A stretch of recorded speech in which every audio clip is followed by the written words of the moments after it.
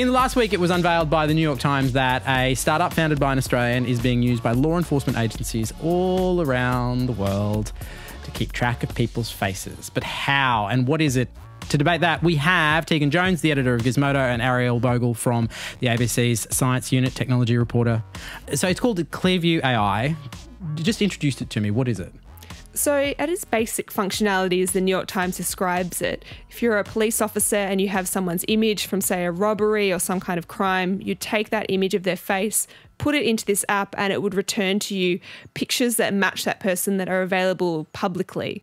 So, this company, Clearview AI, claims it has scraped, you know, Facebook, YouTube, Twitter, Venmo, and has just millions, millions of photos of people from the public internet, which makes it a kind of search engine for faces, anyone's face, and not just images that they've willingly given up to law enforcement, say, when you get a passport or a driver's license. These are just the photos that we've put online just to use social media. And it's not publicly available, is it? No. So at the moment, uh, even the website says that it's very much just for law enforcement at the moment. You can apply for it if you're law enforcement, but despite that, uh, it hasn't really stopped people really worrying about this, uh, especially because, you know, one of the points that was brought up by um, a police sergeant in the article is that it's great because it can scrape photos that wouldn't be in their police database because mm. maybe that person hasn't been arrested for an offense before. But that's why it's also terrifying because you're in a database, even though you haven't committed a crime before. Let's just take where they got the photos. They did an exercise in scraping, they claim, that has really probably touched everybody, everybody that's ever had any kind of online profile, if what they claim is true, because nobody has verified it, nobody's been inside the company and seen all this data that they claim to have when we put our photos on Facebook, however many years ago, we probably did not imagine being in a facial recognition database by some obscure New York startup founded by an Australian serving police departments in the United States. Mm. It's not really what we probably imagined for ourselves. It's definitely not. And no. in fact, you know, Facebook, Twitter, Google, they do say in their terms and conditions that scraping is not allowed. So this company may have in fact broken the terms and conditions of these platforms themselves. That as a sidebar will be interesting to see if any of these companies take legal action against Clearview AI. Mm. Um, that would be a really interesting exercise in discovery. So please do it, Facebook. It'll be the one good thing you do this year. hey, hey, the year is very young. They might do something else good. Uh, this is the year I feel like I, I, feel obliged to give them the benefit of the doubt, at least for the first episode of the, the year. Um, now, Tegan, you actually went off and, and you asked the AFP if they were using it. What did they say in your story for Gizmodo? Yeah, so uh, they did say uh, in a very short statement, but that they're not using it. But they also said that they wouldn't answer any speculative questions. So I did also ask about whether they were planning on uh, using it, whether they were in talks with Clearview AI, and the only response I got to that was that uh, they basically don't, you know, have knowledge of that essentially. So you know, they're, they're not saying anything around that. I also contacted ASIO, but haven't heard back from them. But but just because they're not using it now doesn't mean that they're not in talks because there was no response on that. It also doesn't mean that they're not using some other app as yeah, well. Yeah, I was going to say, I'm you sure this isn't the only thing that does this. That's right. And so, uh, you know, it doesn't rule it out, especially when it has been so successful from what it was saying in that New York Times article. Uh,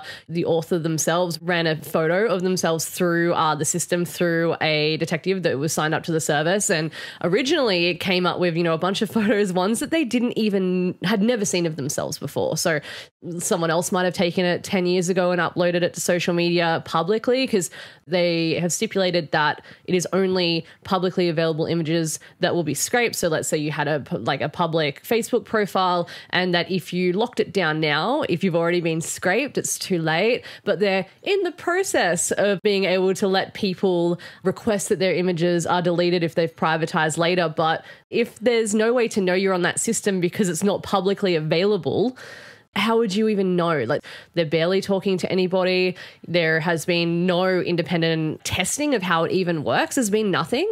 Uh, so it's just so murky and scary. Mm. One other thing we don't know because there hasn't been publicly verified their, their facial recognition algorithm is how it does on race because as the past few years we've seen a lot of coverage of the fact that a lot of facial recognition algorithms have racial bias and they misidentify often people of color, black people in the United States have been misidentified more often because of the way these data sets have been trained, the types of faces they've been trained on. Often they're worse at women than men. You know, there's a whole host of images within that. But of course, that's getting into arguing for it to be a better algorithm. Yeah. Um, we probably need to start at the beginning here in Australia and have a discussion about whether we're comfortable with this type of technology full stop.